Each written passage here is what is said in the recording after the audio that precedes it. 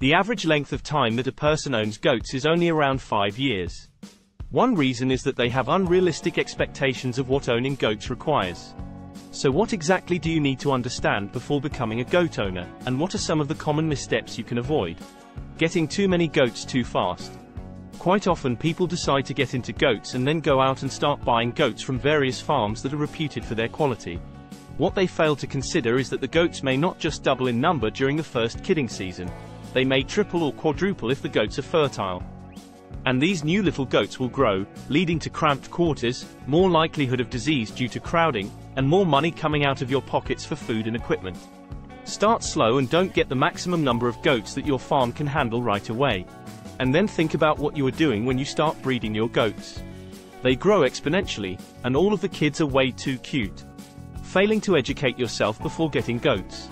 I don't know how many times I've heard, I want to get a couple of goats to control the blackberries on my property. When I ask about fencing, where the goats will sleep, or how the potential owners will protect the goats from the things they don't want the goats to eat, they seem puzzled. They hadn't thought about that. In fact, they didn't even know that these could be problems. Not educating yourself about goats and goat ownership is a guarantee for a short-lived goat experience, a lot of grief, or a much more expensive undertaking than you had planned. Underestimating the costs. Whether you just want to raise a couple of goats for milk or pets or a herd of meat goats, don't make the mistake of underestimating the setup and ongoing costs. I've had to add new fencing to my property and replace fencing that had worn out a lot more often than I had anticipated. And who realized that those plastic water buckets break after a few years? Or that rats can chew through plastic garbage cans? One stanchion might work for the two dairy goats you have in the beginning, but down the road, you find that you need one or two more. And routine medications expire after a year or two and have to be replaced even though you haven't used them. Raising goats reminds me of what my grandpa used to say, if I had a million dollars, I would go back into farming until the money ran out. Paying too much or too little for your goats. Not all offspring from prize winning, high milking, well muscled, or perfectly conformed goats will be champions, good producers, or even acceptable for anything other than pets. Buying goats from a breeder who has a good website and sells a lot of goats or one whose goat won a junior championship doesn't guarantee that what they sell you will be the best. Find out the going rate for the type of goat you want, compare shops, and if you can, ask other buyers about their experiences buying from the seller. Besides figuring out what the goats are worth to you, consider whether the high-priced goats will better meet your needs or pay for themselves in the long run. On the other hand, beware of bargain goats. There's no such thing as a free goat. If someone offers goats for next to nothing, ask why. You want to get a suitable goat the first time around rather than going through a bunch of cheap goats that don't fit your needs or keeping unsuitable goats because you've gotten attached to them.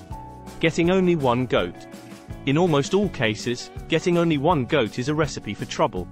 Goats are not dogs and do not thrive on human companionship alone. Buying unhealthy goats. A lot of people are tempted to buy goats at an auction where they can get a good deal. Although some of these animals may be a good deal, you can't tell by looking at them whether they have an underlying health problem.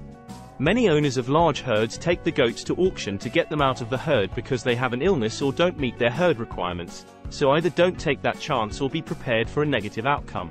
When you buy from a breeder, look closely at the goats and make sure to ask about the goat's health, the herd's health, and whether they have been tested for certain diseases. Get a contract so that you have legal recourse if you later find that the goat had a pre-existing health problem. Neglecting routine management and care. Properly caring for goats is a daily job. In most cases, goats need to be fed and given clean water twice a day. In addition, they require periodic hoof trimming, routine medical care, handling, and grooming. If you let these responsibilities slide, the goat is defenseless, much like a child who relies on you. Overlooking your goat's dietary needs. Unless you have a huge acreage that is covered with plentiful weeds and other plants that goats like to eat, you need to buy them hay. Don't expect your goats to spend their time eating grass on a lawn, they like a variety of plants, which is why they're considered browsers rather than grazers. Giving the goats too little attention. Although they have been domesticated for over 10,000 years, goats are quick to return to a feral state. This means that they need attention and handling if they're to remain friendly. Often, goat owners avoid only certain goats, maybe the smelly bucks or the skittish members of the herd that requires effort to catch. These goats then get harder and harder to catch for routine care. Getting a buck before you're ready. Bucks are not for everyone. Raising a buck is a big responsibility and an aromatic proposition. Bucks don't normally make good pets, and you shouldn't get one with that idea in mind. If you want pets, start with the wether or, if you must, does. They don't stink and are not as strong and aggressive.